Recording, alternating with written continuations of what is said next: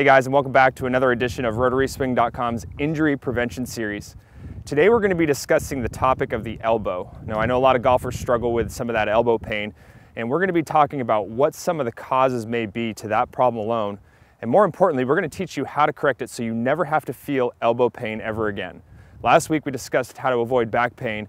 In this video series, we're going to be going through some of the critical joints in the golf swing. So if you've been battling with elbow pain or you want to just prevent it in general, you want to pay close attention to today's video. Let's go ahead and get started.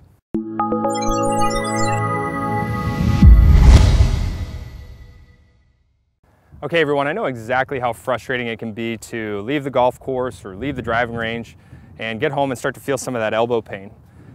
It's also frustrating when we're constantly looking for answers and a solution as to why this is happening and we really can't get it. Well, that's exactly what we're gonna be doing today is we're gonna be defining why this is happening in your golf swing. And more importantly, we're gonna be able to correct it with a simple drill at the end that's gonna give you no pain and more control. I know control is a big thing for a lot of us golfers so, because control leads to consistency. So here's what I want you to do is I want you to think of it this way. We're gonna be focusing primarily on the lead arm in your golf swing because that's where we see about 90 to 95% of the people that visit us um, that have had some previous instruction or previous issues with their golf game. They've, it's really focused in their lead arm. That's where it gets most of the stress. So I'm a right-handed player, so we're gonna focus on the left arm here. So what you're gonna see here, I've flexed my arm to about 90 degrees or so, and I've got my palm facing my face. And you can do this at home if you want. Go ahead and just let your arm extend out. Now, why does my arm not extend past this point? Well, our body has got built-in safety mechanisms. It doesn't want us to go any further than that. It's got built-in safety mechanisms all over the place. It's just a matter of how we use them. Can my arm extend further past this? Absolutely. If it happened, it would be extremely painful. We see a lot of professional athletes that play contact sports actually hyperextend their arm and they're sitting on the sideline for months and months and months. It's a very painful process. You're probably wondering at home, okay, so how does that relate to my golf swing? Well, I'll get there in just a second. I want you to also think about what the left arm is doing in the golf swing at all times, okay? The left arm is rotating in the golf swing.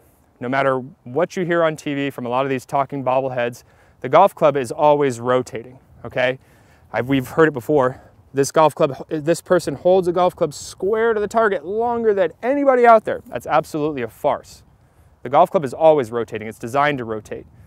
For a stock shot format, a, tour player is typically rotating the, the toe of the golf club six to eight miles an hour faster than the center of the club. That's a lot of speed. Six to eight miles an hour faster, this guy's rotating through the hitting area. It's just rotating at a constant rate. Generally speaking, it's been measured right around 300 to 400 degrees per second, where amateur golfers tend to rotate the golf club at an excessive rate, between 800 and 1500 degrees per second. That's quite a bit, right? You can see that's a drastic upturn. So how does that cause the pain though? How do those two things together cause the pain? Well, let's take a look at that very closely. So I'm gonna turn for the side view here so you guys can really, really watch. And I'm gonna try to get my arm to rotate very quickly so I can mirror what 800 to 1500 degrees per second looks like. Grab the club here. So I'm gonna go through the hitting area and I'm gonna rotate that club very quickly. And I want you to just pay attention to the movement of my arm here. Okay? You see how my arm, from my shoulder down to my wrist, is rotating as one unit all the way down and it's rotating the club very quickly. Why is that a problem? Well, let's look at it very objectively here. If I were to rotate my arm from my shoulder down all the way down into the hitting area and my elbow starts to internally rotate towards my body, you'd see that my wrist is now supinating here. Okay, my elbow starts to rotate in towards my body. Why is this bad? Well, if I strike the golf ball with my elbow now moved into this position, the force, the impact itself, is going to start moving my arm into that, that hyperextended position. If I impact the golf ball, you can see that that's, that's the direction it wants to go.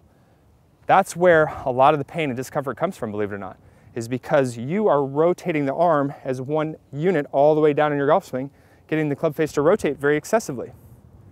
Where tour players, if you watch their golf swings, their elbow position is now facing more down the target line. Okay, it's down the target line because why? Well, here's the good news. We can rotate this guy, okay, with our wrist and our forearm. We don't have to have the entire arm rotating.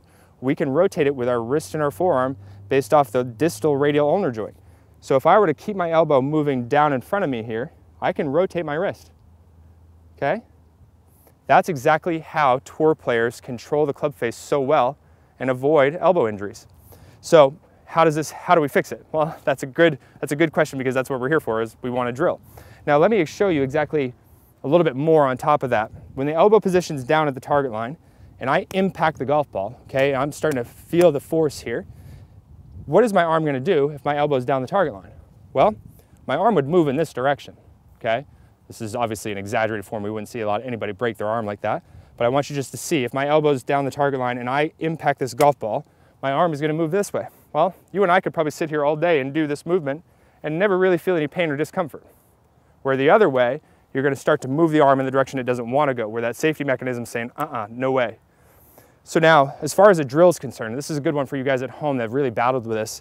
So I want you to just go ahead and set up, okay? You can set up with about 80% of your weight on your left foot, headed in behind the golf ball. I want you to just go ahead and start without a club. You're gonna swing your arm out here to about nine o'clock. Okay, so my glove logo or my watch is facing back at you at home.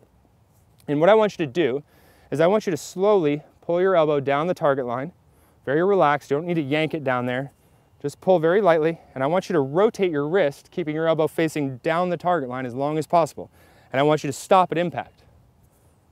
So elbow down the target line, rotate the wrist. So when you get into the hitting area or at impact here, I want your elbow facing down the target line.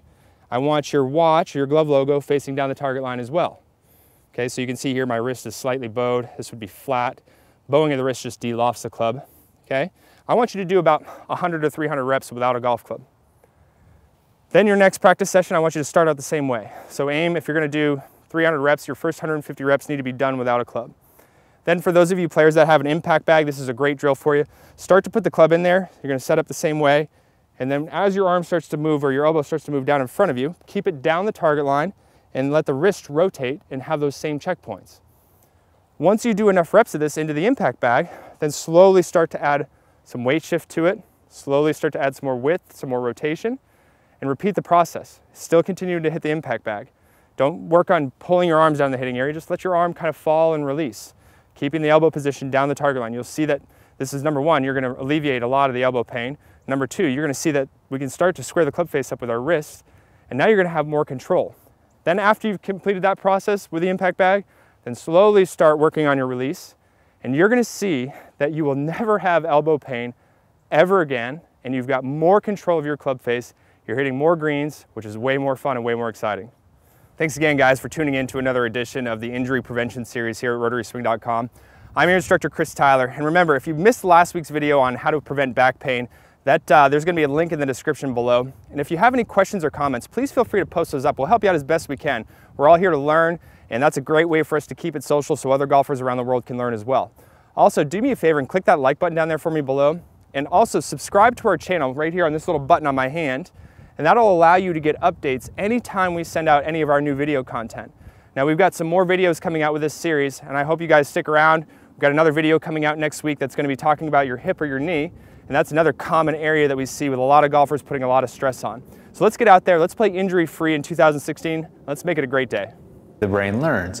But to what we're going to talk about today can actually make an instant impact on your ball striking. That doesn't mean you're going to go out and do it perfectly every time. That's where the repetition comes in and the, the practice. But what you are going to find is that for once, you're going to start to really understand what controls uh, the ball flight. And when we talk about, about ball flight, there are a couple things that we're specifically dealing with. One is trajectory. And